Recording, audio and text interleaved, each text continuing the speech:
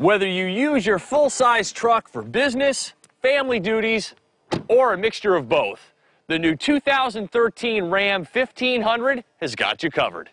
The pickup truck war is torquing up, and the new battleground seems to be fuel efficiency. And to that end, the emergence of the V6 powered full size is well underway. This 2013 Don't Call Me Dodge Ram 1500 is equipped with the company's workhorse 3.6 liter Pentastar V6, programmed here to make 305 horsepower and 269 pound feet of torque. Combined with their obsession to improve aerodynamics, reduce weight, and utilize any gas saving trick possible, such as low rolling resistance tires, electric power steering, and pulse width modulation, engineers were able to extract 16 mpg city, 23 highway from this 5,148 pound truck. To be specific, I'm driving the SLT Crew Cab 4x4 with the 5 foot 7 inch box. That's 2 mpg better than Ford's EcoBoost offering, and because I have a gas station near me that sells E85 for 50 cents less per gallon, having a flex fuel engine in the Ram is another advantage. As configured here, payload capacity is listed at 1,650 pounds with 4,150 pounds towing. Two wheel drive models with a more aggressive axle ratio can pull towing to three and a quarter tons. The crew cab model is best suited for those who place an emphasis on passenger volume, and it does not disappoint.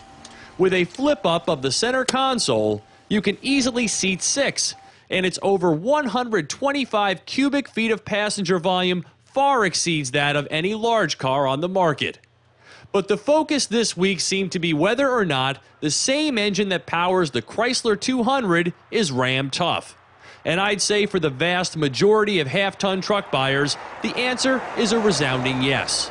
This motor is flexible enough to be used in a wide variety of applications, and you could add the Ram to that growing list. It's car quiet and refined, as quick as a midsize sedan, powerful across a wide RPM range, and works harmoniously with the new TorqueFlite 8 speed automatic.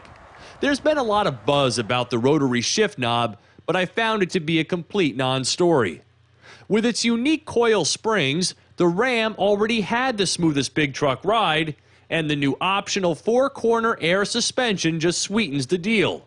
It works automatically, even lowering at highway speeds for improved efficiency.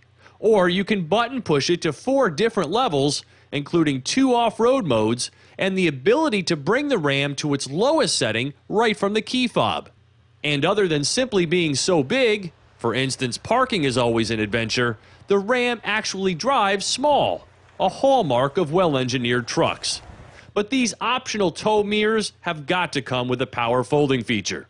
Everything about the crew cab's interior is oversized, including mammoth rear seat room and this giant 8.4 inch touchscreen.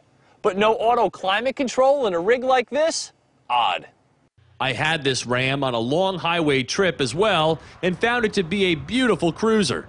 Highly optioned with dozens upon dozens of convenience features, I would highly recommend all of the Park Assist systems for obvious reasons.